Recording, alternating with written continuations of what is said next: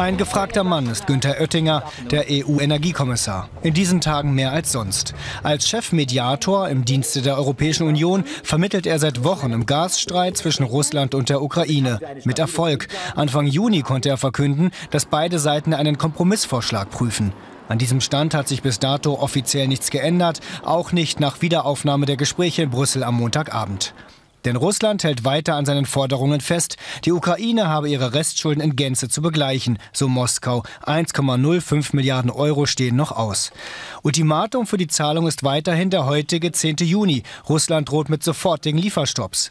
Weiterer Streitpunkt, der Gaspreis. Russland verlangt umgerechnet 356 Euro pro 1000 Kubikmeter. Die Ukraine dagegen pocht auf Rabatte.